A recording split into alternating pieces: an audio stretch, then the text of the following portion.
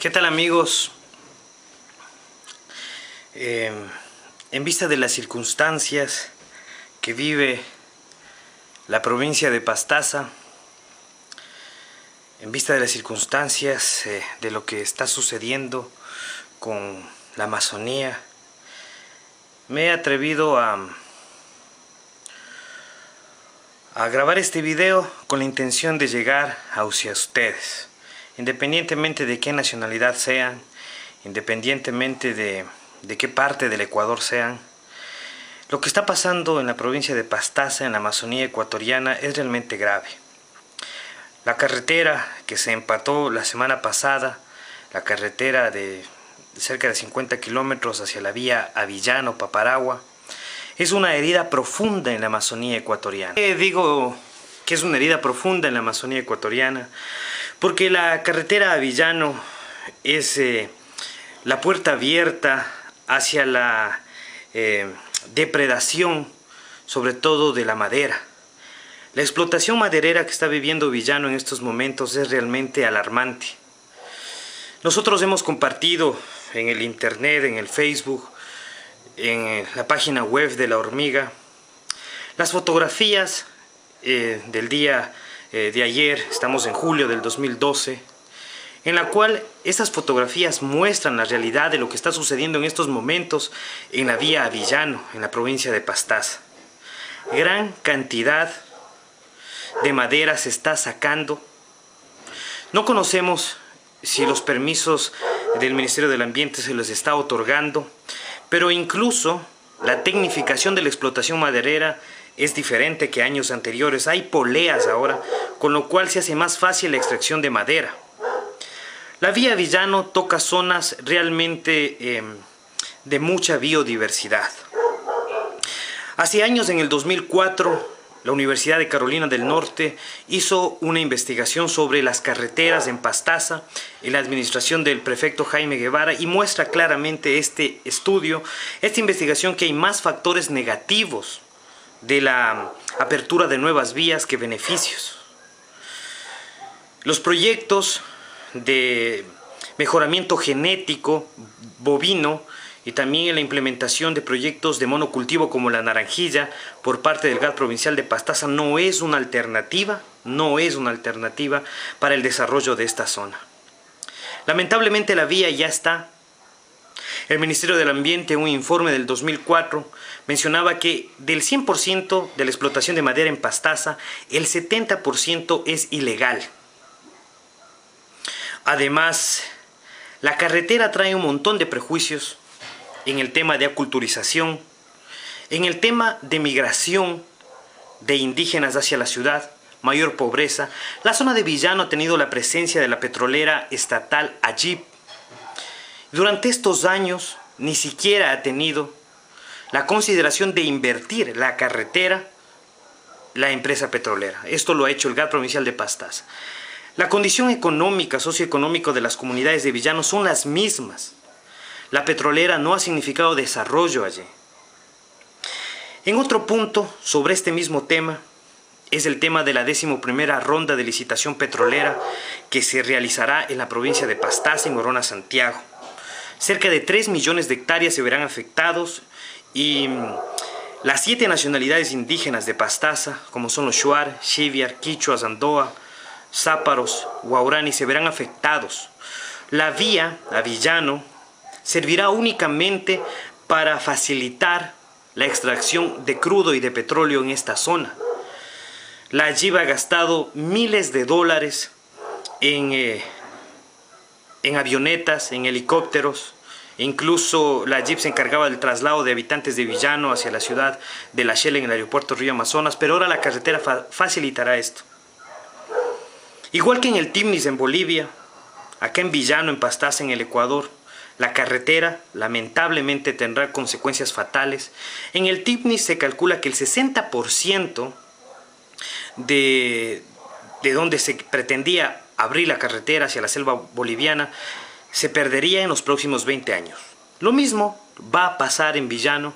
En los próximos 20 años Villano se quedará sin bosques tropicales y con un gran manto de pasto deforestado.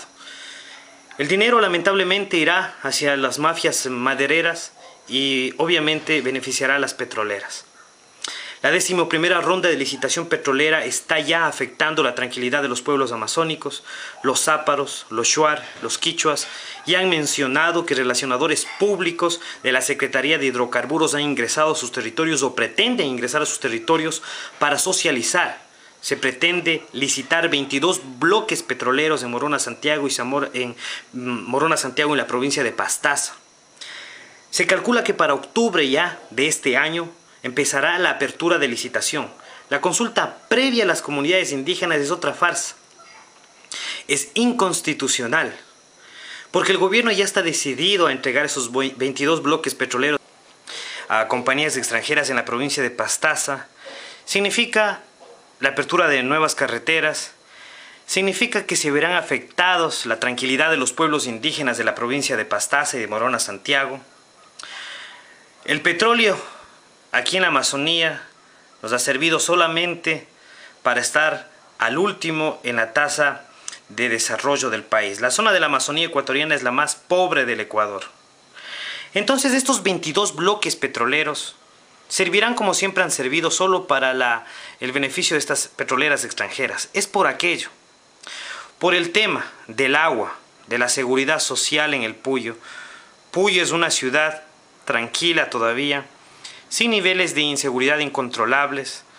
Lo que pasa en Lago Agrio, lo que pasa en Orellana y lo que pasa en Coque es otra historia, donde las empresas petroleras, con este boom petrolero de más de 40 años, le tienen a las ciudades sumidos en la pobreza, en la delincuencia, en la inseguridad y además los índices de cáncer más altos que tienen, el, que el país están en estas provincias. Sucumbíos es la provincia con más casos de cáncer en el país por culpa de la Texaco, por culpa de haber eh, realizado uno de los atentados más grandes al medio ambiente, al ambiente. Las selvas de Orellana y Sucumbíos están contaminadas. Entonces por el agua, como reitero, por la tranquilidad, por la vida, es que hemos empezado una lucha. Fundación Pachamama, con la campaña La Amazonía que nos queda, la Comuna Amazónica trabajando desde las bases indígenas, nosotros trabajando desde la ciudad de Puyo, haciendo todo lo que podemos, utilizando las herramientas legales, las herramientas pacíficas que nos da. Es por aquello que no es difícil ponerse al frente de una cámara y hablar, pero a nombre de todos los que estamos luchando en la Amazonía ecuatoriana, en la provincia de Pastaza, a nombre de la hormiga, les invitamos a unirse a esta lucha. Les invitamos, si usted está en la provincia de Pastaza, en Puyo, a unirse a nosotros. Visítenos en la página web de la hormiga www.lahormigaecuador.com. Contáctese con nosotros si está fuera de la provincia, si está en alguna parte del Ecuador y quiere unirse a nuestra lucha. Si está fuera del país, si está en el extranjero también, contáctese con nosotros. La lucha es realmente importante, debe serlo ahora para que mañana no sea tarde. Los bosques tropicales de la provincia de Pastaza están amenazados por la vía Villano, por la décimo primera ronda de licitación petrolera, por la deforestación de las cuencas hídricas, la ciudad de Puyo está amenazada porque de donde nace el agua, del río Pambay, de la zona del río Blanco, de la zona del río Puyo, toda esta zona está deforestada. Hay ganadería, hay monocultivo de naranjilla, de caña de azúcar, que afectará al futuro, la seguridad alimentaria, la seguridad del agua a todos los habitantes de la ciudad de Puyo. Puyo es la provincia, Puyo es la capital de la provincia más grande del Ecuador, Pastaza. Pastaza tiene 85% de manto verde privilegiado. Así que es hora de defender, de despertarnos. Si el mundo, si los jóvenes están despiertos en todas partes del mundo, ¿por qué nosotros, no como amazónicos, levantarnos también de manera pacífica, contundente, inteligente, con firmeza? Así que les pedimos toda su colaboración, todo su apoyo. Nosotros seguimos luchando acá y les agradecemos porque a través de las redes sociales se puede compartir este video para que todo sepa que la provincia de Pastaza, la más grande del Ecuador, está en grave riesgo.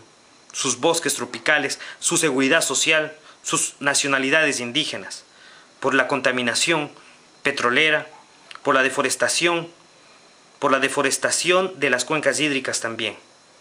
Así que muchas gracias por eh, atendernos a este video. Seguimos luchando. no vamos a parar, no nos vamos a callar. Gracias a todos ustedes. Hasta pronto.